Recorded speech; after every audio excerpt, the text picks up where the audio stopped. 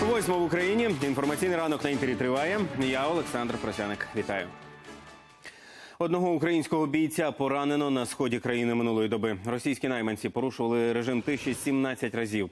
Загострилася ситуація на світлодарському напрямку. На цій ділянці окупанти били з гранатометів. Побільшало обстрілів на Луганщині. Натомість у районі Донецька вогнева активність ворога зменшилася. Зазначили у штабі операції об'єднаних сил. Росія блокує звільнення українських заручників. Про це написала Ірина Геращенко за підсумками засідання тристоронньої контактної групи. І додала, Київ очікує офіційної відповіді від Москви щодо обміну 25 липня. Вона нагадала, що українська сторона запропонувала Кремлю звільнити незаконно утримуваних політв'язнів в обмін на 36 затриманих росіян. До списку з обміну можуть потрапити Сущенко, Сенцов, Кольченко, Клих, Карпюк, Панов, Гриб та інші українці і кримські татари із російських тюрем.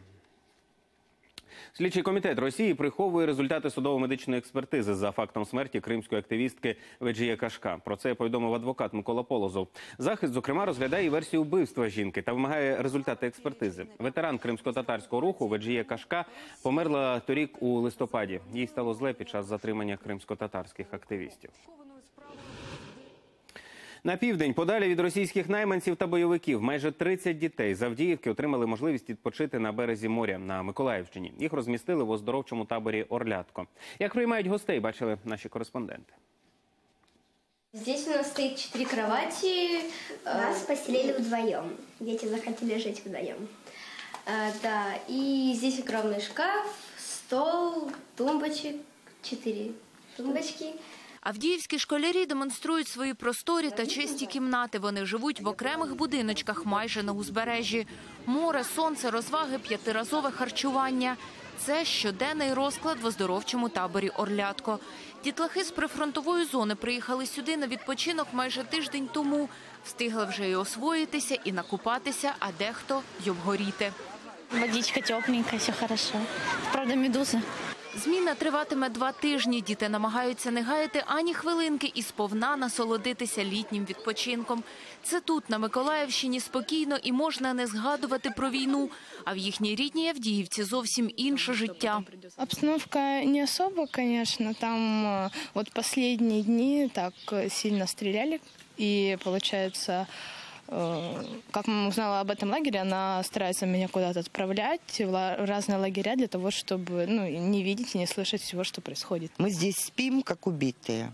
И ребята, мне нравится, что они могут пообщаться друг с другом, спокойно побегать, купаются в душе по несколько раз. У нас же проблема и с водой. Табір Орлятко не вперше приймає малечу з Донбасу. Торік тут відпочивали маленькі мешканці станиці Луганської. Цього року 27 дітей з Авдіївки від 8 до 17 років. Сприяла обласна влада, а також небайдужі люди. Організували екскурсії, навезли смаколиків та сувенірів. Перше відгукнулася Коблівська територіальна громада. Вони домовились з аквапарком. Вартість відвідування аквапарку 800 гривень. А ді- ді- дітям дали безкоштовно відвідати там три часа. І е, дельфінарій. Діти розповідають, батьки телефонують їм щодня, непокоїться, чи ситі, чи все подобається. У Орлятку відпочивальники пробудуть ще кілька днів, і дозвілля розписане ледь не по хвилинах. Настільні ігри, уроки з карвінгу, конкурси, поїздки – усе, аби діти набралися якомога більше позитивних емоцій та вражень перед поверненням додому. Марина Михайловська, Олексій Уманський. Новини, телеканал Інтер, Миколаївська область. У центрі столиці напередодні згоріла занедбана будівля дитячого садка. Пожежа сталася на вулиці Дмитрівській. Вогонь охопив 200 квадратних метрів споруди. Менше ніж за годину рятувальники локалізували та загасили полум'я. На місці події працювали три десятки вогнепорців і спецтехніка. Причини займання має встановити слідство. Хокеїсти спортивної школи Сокіл Київ у новому навчальному році можуть опинитися на вулиці. Льодова арена, на якій тренувалися діти, вже кілька років на реконструкції. Альтернативних ковзанок у столиці лише дві, а спортсменів кілька сотень. Повернути лід напередодні вимагали батьки юних спортсменів під Кабміном. Боротися за льодову арену вийшли десятки активістів. Звернути увагу на проблему взагалі українського хокею і дитячого хокею в Києві і в Україні. Спортивний комплекс Авангард знаходиться на повній реконструкції вже 6 років. Ми з дітьми вже не можемо чекати. Такий вигляд матиме спорткомплекс «Авангард» після реконструкції. За проектом, перший етап – капітальний ремонт льодової арени повинні б завершити в цьому році. В 2010 году началась реконструкция нашего авангарда и э, в мае месяце. И вот в сентябре значит, того же 2010 года должна была вернуться сюда школа. Но, к сожалению, вот как все началось, так все и закончилось. На базі «Авангарду» вихованці спортивної школи «Сокіл Київ» тренуються вже понад 30 років. У 2014-му він став державним, а ще за рік отримав статус бази олімпійської, паралімпійської та дефлімпійської підготовки. На час реконструкції заняття перемістили до найближчої льодової ковзанки. На той момент з півтисячі спортсменів вже залишалося 300. На сегодняшний день в нашей школе занимается более 200 детей, но, э, опять же таки, э, мы приходим к той же самой проблеме. И у нас в этом году, в мае месяце, э, прекратился су- существование вот этот вот временное строение дутик наш, этот каток на Оболоне. И фактически наши дети опять оказались на улице. Аби діти мали змогу займатися хокеєм, батьки самотужки шукають ковзанки для тренування. Кажуть, зараз таких у столиці лише дві, але і їх юні хокеїсти змушені ділити з іншими спортивними секціями. Мало хороших раздевалок, мало мест. У нас команда большая, поэтому хотелось бы побольше места. У нас многие переодеваются на полу. Я хотел бы, чтобы было побольше лавочек и чтобы все вмещались. Учасників акції запевнили, ремонт авангарду таки розпочнуть. Міністерство молоді і спорту звернулося Кабінет міністрів до прем'єр-міністра з проханням виділити наступний рік 89 мільйонів гривень для е, ремонту е, державного підприємства Авангард. Це буде перша черга для того, щоб в наступному році до кінця року вони почали свої тренування. Однак і батьки, і самі хокеїсти кажуть, як би це не затяглося ще на кілька років, адже заняття мають початися вже з 1 вересня. Анастасія Старовойт, Олексій Шматов, Павло Лисенко. Новини телеканал Інтер.